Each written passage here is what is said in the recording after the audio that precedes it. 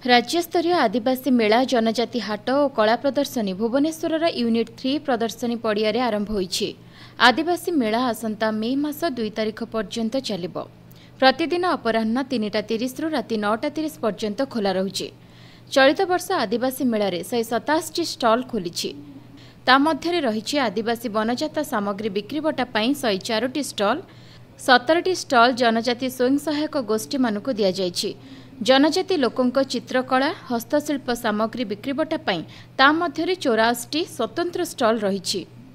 ଆମ କେନ୍ଦୁଝର ଜିଲ୍ଲାରେ ବଡ଼ି ବହୁତ ପ୍ରସିଦ୍ଧ। ଭୁବନେଶ୍ୱର ପାଇଁ ସେ ବହୁତ ଚାହିଦା ଆଜ୍ଞା ବହୁତ ଭଲ ରେଟ୍ରେ ଆମେ ବିକ୍ରି କରୁ।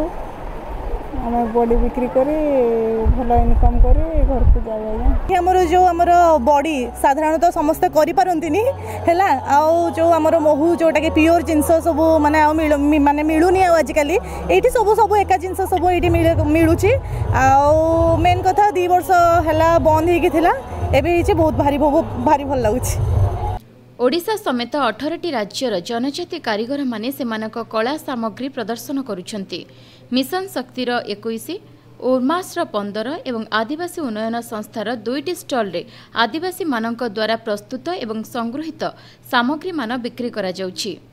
ଏବେ ଯେଉଁ ବର୍ଷ ଦୁଇ ବର୍ଷ ହେଲା ବନ୍ଦ ଥିଲା କୋଭିଡ଼ ପାଇଁ ଏବେ ଯାଉ ଜଗନ୍ନାଥଙ୍କ ଦୟାରୁ ବନ୍ଦ ହେଇଛି। ଏବେ ପୁଣି ଆଉ ଥରେ ପ୍ରୋଗ୍ରାମ୍ ଆମର ଷ୍ଟାର୍ଟ ହେଲା।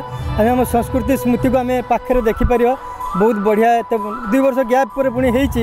ସବୁ ପ୍ରୋଗ୍ରାମ୍ ବଢ଼ିଆ ଆରେଞ୍ଜ କରାହେଇଛି ଏତେ ସୁନ୍ଦର ଅ, ସବୁ ସଜା ହେଇଛି ବହୁତ ବଢ଼ିଆ ସମସ୍ତଙ୍କୁ ବହୁତ ଧନ୍ୟବାଦ ଏଠି ସବୁ ଯେତିକ ଆମର ଟ୍ରାଇବ୍ସ ଅଛନ୍ତି ତାଙ୍କର ଡିସପ୍ଲେ ବହୁତ ଭଲ ହେଇଛି ଆଉ ବହୁତ ଜିନିଷ ଭଲ ଦେଖିବାକୁ ମିଳିଲା ଦୁଇ ବର୍ଷ ପରେ ଆଉ ଏଇଟା ଷ୍ଟାର୍ଟିଂ ଡେ ଆମେ ପ୍ରଥମ ଦିନ ଭିଜିଟ୍ କଲୁ ଟିକେ ଡିଷ୍ଟାନ୍ସ ମେଣ୍ଟେନ୍ କରିବା ପାଇଁ ଆଉ ଏନେ ଯେହେତୁ କୋଭିଡ଼ ନାହିଁ ଲୋକ ଆସି ଦେଖିପାରିବେ ପ୍ରତ୍ୟେକ ଦିନ ସନ୍ଧ୍ୟାରେ ଆଦିବାସୀ ଲୋକ ସଙ୍ଗୀତ ଓ ନୃତ୍ୟ ପରିବେଷଣ କରାଯାଉଛି।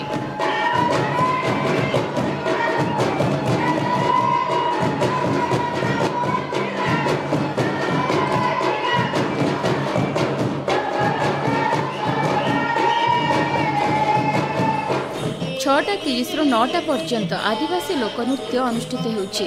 ଏଥିରେ ବିଭିନ୍ନ ଜିଲ୍ଲାର ଲୋକନୃତ୍ୟ ଶୈଳୀ ପ୍ରଦର୍ଶିତ ହେଉଛି।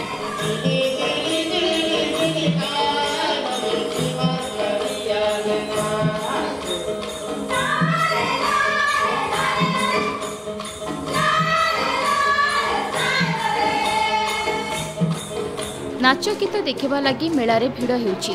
କରୋନା କଟକଣା ହଟିବା ପରେ ଆଦିବାସୀ ମେଳା ଓ ସାଂସ୍କୃତିକ ସମାରୋହ ଅନୁଷ୍ଠିତ ହେଉଥିବାରୁ ଲୋକଙ୍କ ମଧ୍ୟରେ ବେଶ୍ ଆଗ୍ରହ ଦେଖାଦେଇଛି।